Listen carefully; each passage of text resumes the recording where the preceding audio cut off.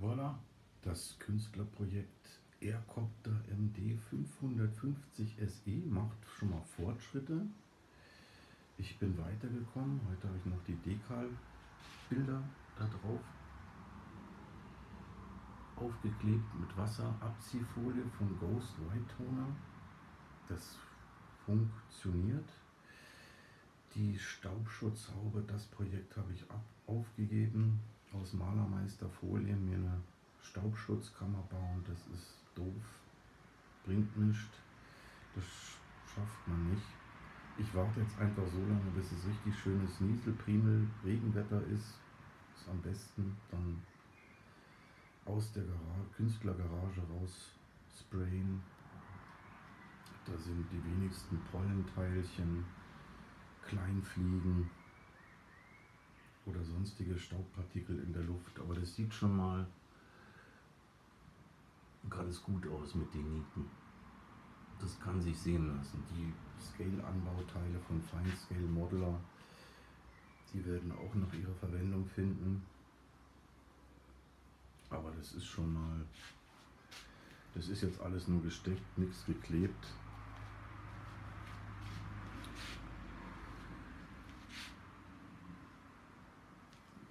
Das schafft man wirklich nur, also kann ich nur empfehlen bei gutem Regenwetter. Das mit der Staubschutzkammer ist mir auch gesundheitlich schon fast so eine Gaskammer, die man sich, wenn man sich da selber baut, da braucht man schon echt fast schon eine Zweite Weltkriegs Gasmaske, wenn man das da aushalten will. Außerdem muss man die Teile meistens eh noch schwenken wenn man sie gespritzt hat, ganz besonders der Klarlack, der ist von der Viskosität her doch etwas noch etwas dünnflüssiger. Deswegen muss man die Bauteile eher sowieso eigentlich nach dem Sprayen noch mal ein bisschen schwenken, fünf bis zehn Minuten, bevor man sie dann überhaupt irgendwo hinhängen kann, damit die aufgetragene Farbschicht dann sich nicht irgendwo an der Stelle in Schwerkraft sammelt. Deswegen habe ich das Projekt, wie gesagt, aufgegeben, das über einer Staubkammer zu sprayen. Ich mache das jetzt, wie gesagt, an der frischen Luft bei Regenwetter. Das geht besser.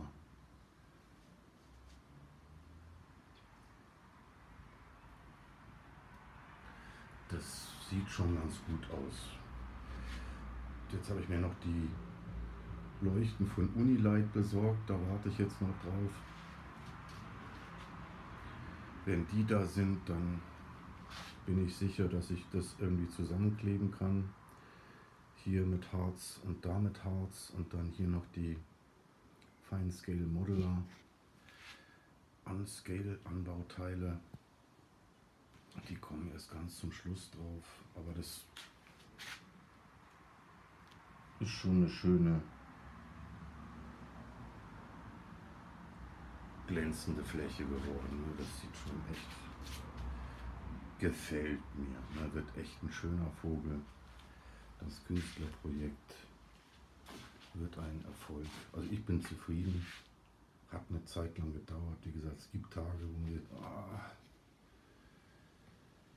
das, was der jetzt vorgehabt hat, das hat so nicht funktioniert. Wie gesagt, da, das waren drei Anläufe hier, bis man das so richtig schön, richtig schön homogene Flächen macht. Das auch zum ersten Mal mit der Spraydose, so große Flächen sprayen. Das wurde noch nie gemacht. Aber ich mache das so nach Gefühl. Ne? Gefühl, nicht so wie eine Firma, schnell, schnell. Der Chef schreit schon wieder schnell, schnell. Nee, schnell, schnell. Wird kacke, weiß man. Egal ob Modellbau, Kunst, Software. Schnell, schnell ist immer, ist immer doof. Schnell, schnell. Aber das wird schon. Also wie gesagt, die Unilight leuchten, da warte ich jetzt noch drauf, ob ich dann, wie gesagt, die zwei Löcher da verdecken kann. Das wird dann mit Harzkleber alles äh, gut ausgerichtet und dann verklebt. Ich möchte es wie gesagt so machen, dass man trotzdem noch die, hoffentlich geht das irgendwie das Konzept, dass man die Leuchten, falls irgendwie was nicht mehr gehen sollte an Leuchte, dass man es noch austauschen soll, kann. Also es soll maintenance-freundlich sein. Ist auch so ein Aspekt. Maintenance-freundlich. Schnell, schnell. Das ist immer Murks, aber maintenance-freundlich. Da muss man ein bisschen mitdenken, wie man es am besten baut, damit es maintenance-freundlich wird. Ähm, verstehen viele Chefs auch nicht. Aber es ist wirklich schon, also ich bin, es ist schon gut Arbeit muss man schon sagen. Man braucht echt viel Geduld.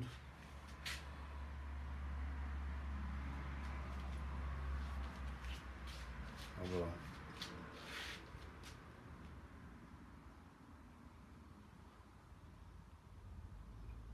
jetzt bin ich mal gespannt, wenn das hinten so relativ schon gut geworden ist. Ne? Das, der Vorderbau, der wartet ja noch. Aber ich dachte mir, ich fange mal hinten an. Also das kann ich empfehlen, Leute, die so ein Vorhaben bauen wollen, fangt am besten hier mit den Leitwerken mal an. Da könnt ihr so ein bisschen schon mal testen, eure Kunstspray-Fähigkeiten. So habe ich gemacht, mit denen habe ich mal ein bisschen angefangen hier. Dann hier die Teile und da sammelt man schon mal so ein bisschen Erfahrung an den beiden Bauteilen und dann kann man mit dem Bauteil kann man sich dann ranwagen, wenn man so die ersten Erfahrungen gemacht hat. Aber das wird schon. Also ich habe ein gutes Feeling, wird ein schönes, wird ein richtig schöner Vogel.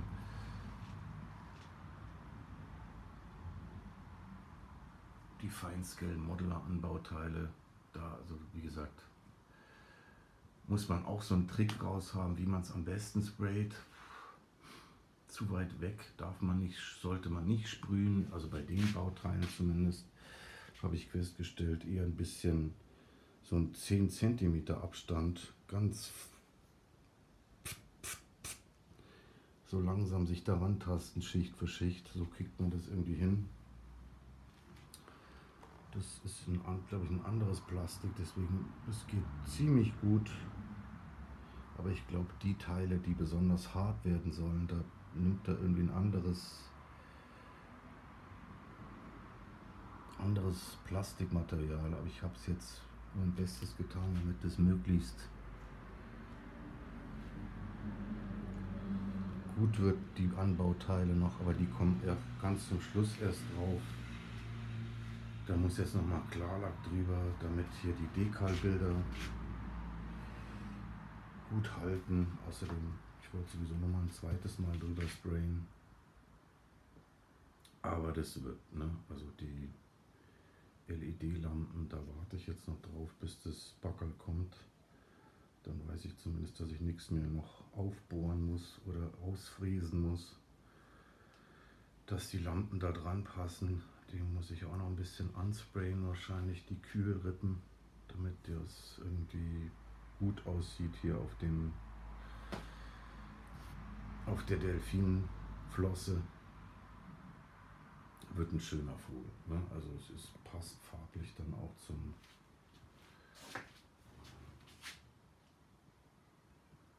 zu seinem Kollegen hier. Das passt dann. Und also wenn ich das hintere Bauteil, hintere, den hinteren Rumpf schon mal so gut hinbekommen habe, dann habe ich da schon mal gute Erfahrungen gesammelt, die ich dann da übertragen kann in Autodidakt ohne Doktor, Doktor, Professor, Diplom-Ingenieur, AD-Titel. Ähm, schauen wir mal, dass wir das hinbekommen. Muss natürlich auch toll fliegen. Also toll wie es aussieht, muss es auch fliegen. Das ist What looks good, flies good, ist das Motto. Und das ist aber, wie gesagt, das ist noch, das wird noch dauern, bis das fliegt, aber zumindest wollte ich jetzt mal mit dem Rumpf anfangen, dass der schon mal fertig ist. Ich da alles vorbereitend, vorbereiten kann und dann später die Mechanik und die Elektronik da einzubauen. ist für die Elektronik mal jetzt schon vorher, das baue ich jetzt schon alles vor und spritze es dann so, bis es dann alles geschliffen und gescaled ist mit den Bauteilen. Ähm, und genau, ich werde bloß hier wahrscheinlich hier hinten noch, das ist noch ein Tipp, den ich geben kann. Da werde ich wahrscheinlich noch so eine kleine Balsa ähm, dünnes Balsablättchen einkleben. Das ist hier so ein bisschen so eine, an der Stelle so eine etwas empfindliche Stelle. Da kann, wenn es zu sehr knickt, kann hier so ein kleiner Haarriss entstehen und mit so ein bisschen, wer weiß, wenn man die Mechanik dann später da einbauen muss, dann drückt man da vielleicht zu sehr drauf und dann hat man so ein so ein Haarriss hier, so ein klein da unten drin, deswegen es biegt sich zu sehr. Hier oben macht es nichts, weil da ist wie gesagt die, äh, sieht man jetzt nicht, die, die Verschalung da drin in der Mitte, um die Heckrohrstange zu halten. Das werde ich noch machen und ich glaube, ich werde statt Holzschrauben mir noch irgendwie ein paar Gewinde da einkleben.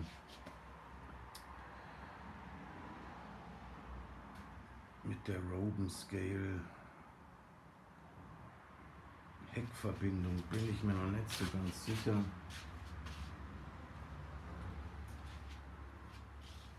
Habe schon mal so probeweise mal so reinge, reingesetzt, um mal zu sehen, wird es eng, passt. Ich muss mal gucken, mal sehen. Vielleicht nehme ich mir irgendwas von äh, Helikopterbaumann vielleicht. Ich muss dir mal fragen, ob es da noch eine Alternative gibt. Der hat so offene, offene Zahnradkonstruktion. Ähm, das gefällt mir fast ein bisschen besser. Ich weiß es noch nicht. Mal gucken, äh, wie es wird. Aber ich habe das jetzt einfach mal so, um zu sehen, ob ich da noch da habe ich noch so einen kleinen Ausschnitt da reingefräst, weil da glaube ich, da könnte es Probleme geben mit der, mit der Lasche hier, dass man das dann zum Schluss nicht mehr über den Rumpf bekommt, weiß ich aber nicht. Ich habe, wie gesagt, das sieht man erst dann, wenn die Mechanik ähm, da ist und man das alle, alles soweit vorbereitet hat, um die Mechanik da reinzusetzen. Ähm, glaube auch nicht, dass die Schrauben da, die da vorbereitet wurden, da vorne, dass das so alles passgenau ist, dass es dann hinten auch ähm, Millimeter genau sitzt. Also ich möchte sie hier nicht kürzen.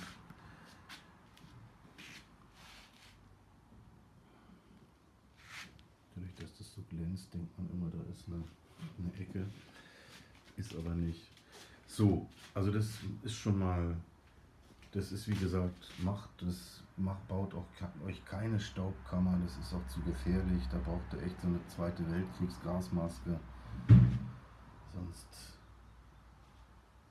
wenn es blöd läuft, kippt ihr da selber noch um in der Kammer und keiner weiß es und ähm, ist gefährlich mit einer Staubkammer. Lasst es lieber sein.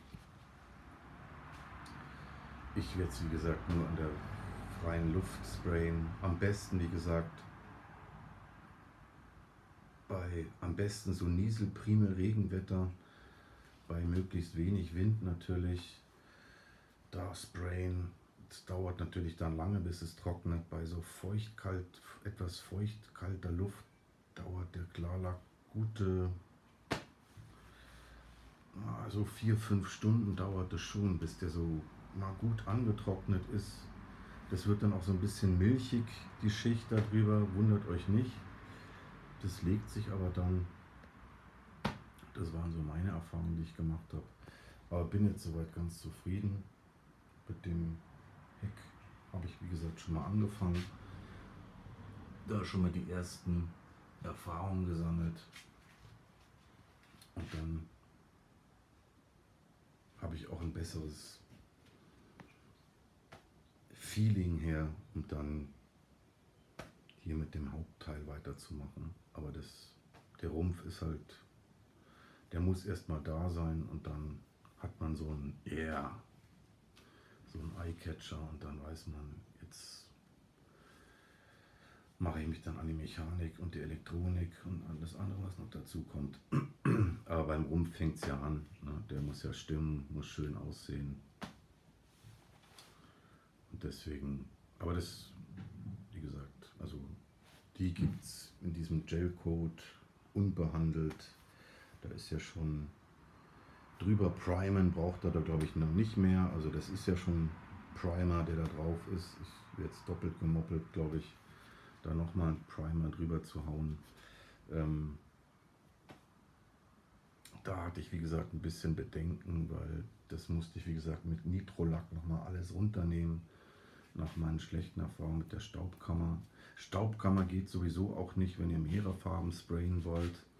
Äh, und wie gesagt, wenn ihr dann Silber sprüht in der staubfreien Kammer und dann am Ende wollt ihr noch ein Bauteil mit Klarlack äh, in der gleichen Staubkammer drüber sprayen. Das bringt nichts. Ihr pustet mit dem Klarlack wieder die feinsten Silberpartikelchen von, den, von der Plastikplane und das setzt sich dann alles richtig schön auf, dem, auf der Fläche ab, klebt schön mit Klarlack und dann habt ihr so einen Metallic Silberschimmer da noch mit drauf auf der Platte und deswegen das war dann der, der erste Versuch, wie gesagt, im Freien bei zu viel Wind.